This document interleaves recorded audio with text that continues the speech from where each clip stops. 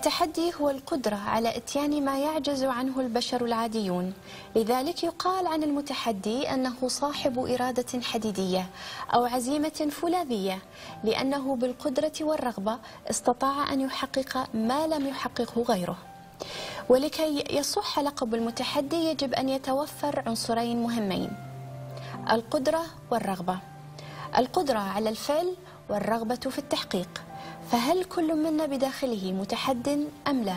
لو أصيب أحد بمرض أقعده تماما عن الحركة هل يستطيع أن يتحدى ذلك ويواصل حياته؟ الإعاقة مش سبب لحتى تكون تخلي الواحد يتراجع التحدي هو الشيء الأساسي عند الإنسان نعم يستطيع أن يواصل حياته حتى لو أصيب بإعاقة حركية هي نعم أكيد طبعا ال- يقدر يواصل حياته هل تعرف شخصا اسمه ستيفن هوكينج؟ هو أحد علماء الفيزياء وهو مقعد أمريكي الجنسية ومن أبرز علماء الفيزياء. أستاذ جامعي هو آه، كان يكتب. وقائد في الجمعية الأمريكية. تنبأ له الأطباء وهو في عمر الحادي والعشرين أنه لن يحيا أكثر من عامين فقط لأنه مصاب بمرض نادر هو مرض العصب الحركي الذي يؤدي للشلل التام. وكان هذا هو التحدي الأول فقد عاش وعمره تجاوز السبعون. لكن ستيفن هوكينج عالم الفيزياء النظرية وأحد أقطاب نظريات علم الكون رفض أن يحيا عاجزا عن إفادة البشرية فقام بتطوير أساليب تعويضية للبصر وأخرى للحركة. ومع تزايد المرض أصبحت مخارج حروفه غير واضحة مما جعله يترك التدريس ويتجه للتأليف.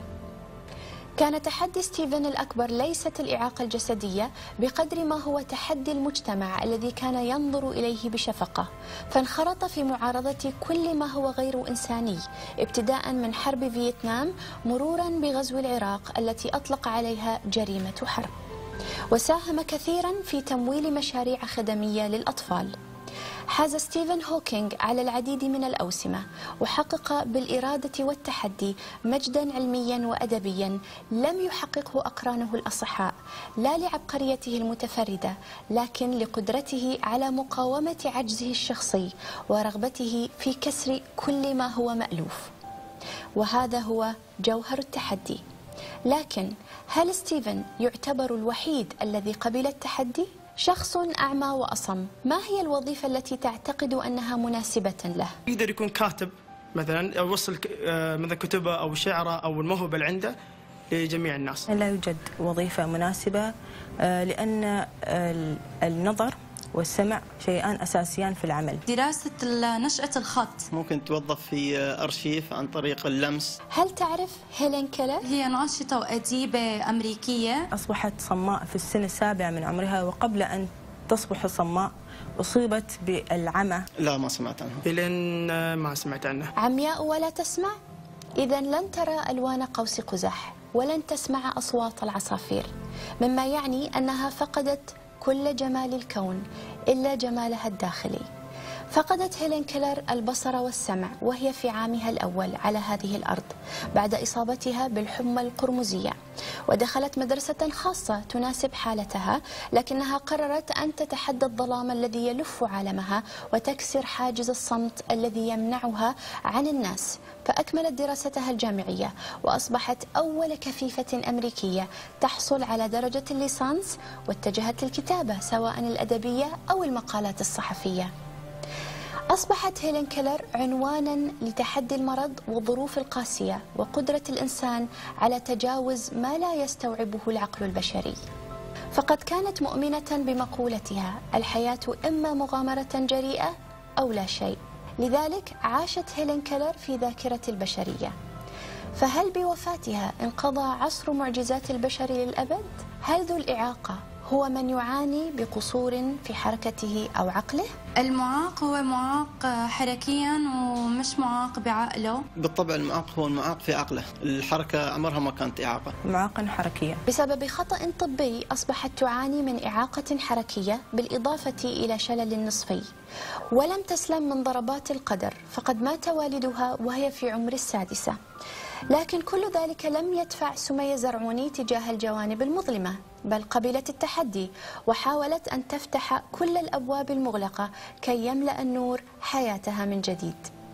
أكملت تعليمها الجامعي وعلمت نفسها الرسم فقد كانت هذه موهبة والدها التي زرعها فيها قبل الرحيل.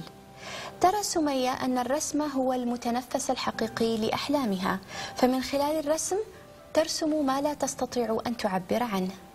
ورغم التحديات التي تواجه سمية يوميا إلا أنها تحملت بنفس راضية مرض والدتها التي أصيبت بجلطة فأصبحت هي ترعى والدتها سمية الزرعوني وجه مشرف للتحدي وجه لا يرى فيما حدث شيء يستدعي الهرب بل يستدعي الصمود والإرادة والتحدي هل هناك تحد أكثر من ذلك؟ هل من الممكن أن يصاب رئيس جمهورية بشلل؟ عادي ممكن يكون رئيس جمهورية لأنه الإعاقة هي إعاقة جسدية وليست فكرية. بيكون في نقص في أداء عمله. مش بالإصابة اللي يتحدد مثلا يكون رئيس دولة ولا؟ لا يستطيع القيام بواجباته تجاه دولته. هل تعرف من هو فرانكلين روزفلت؟ هو الرئيس الأول لأمريكا وهو مقعد. ما سمعت عنه صراحة. هو الرئيس الأول لأمريكا. وهو أيضا كان آه، قائدا في الحرب العالمية الثانية وأصيب بالشلل من الجهة السفلية من جسده. الوحيد الذي فاز بالانتخابات الرئاسية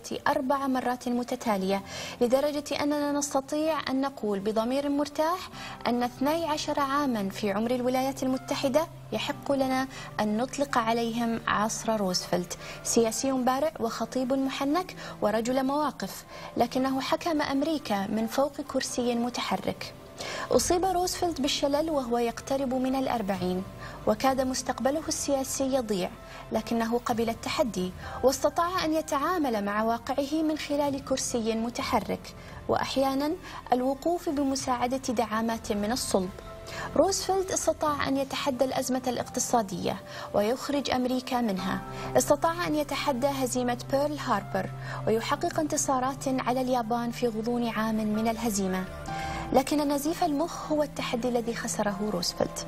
بعد أن حقق مقولته أن الرجال لن يكونوا سجناء لمصيرهم فقد تحرر روزفلت من سجن مصيره للأبد. أصحاب الهمم أو متحدي الإعاقة خير مثال للقدرة البشرية على التحدي وقبول أي تحديات تبدو للوهلة الأولى غير منطقية. المعادلة بسيطة، إما أن نصبح أسرى لمصير مرسوم مسبقا ومحكوم عليه سلفا، أو نتحرر كما تحررت هيلين وروزفلت وسمية وستيفن. الحرية من سجن المصير لن يأتي إلا بثمن فالحرية ثمنها غال وثمن التحرر هو قبول التحدي فتصبح الجائزة شخصيات حرة طليقة في فضائنا الإنساني الرحب.